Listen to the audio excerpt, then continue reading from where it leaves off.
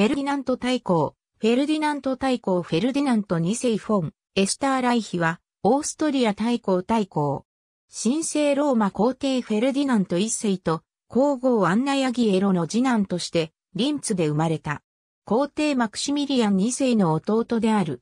1547年から父に命じられ、ボヘミアの統治者になり、1556年のハンガリーにおける大オスマン帝国戦を指揮した。1557年、フェルディナントは秘密裏にアウクスブルクの豪商、ベルザー家出身のフィリピーネ・ベルザーと結婚した。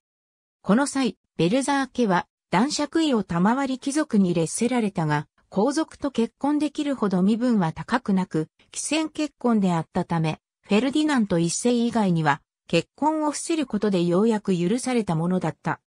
フィリッピーネとの間に生まれた子供たちは、フォンエスターライヒと名乗ることは許されたものの、帝位継承権は認められず、男子についてのみ、ブルガウ辺境伯の称号を授けられた。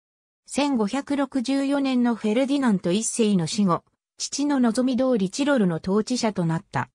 しかし、アニマクシミリアンの要請もあり、1567年までプラハでボヘミア総督を務めた。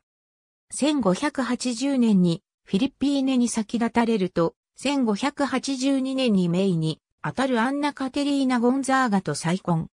アンナ・カテリーナとの間には男子が生まれなかったため、チロルはフェルディナントの死後に老いである神聖ローマ皇帝、マタイアスに継承された。アンナ・カテリーナの産んだ娘アンナが皇帝、マティアスの皇后となると、チロルはマティアスに継承された。フィリッピーネとの間には4子が生まれた。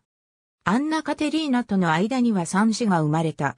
他に二人の諸子がいた。ありがとうございます。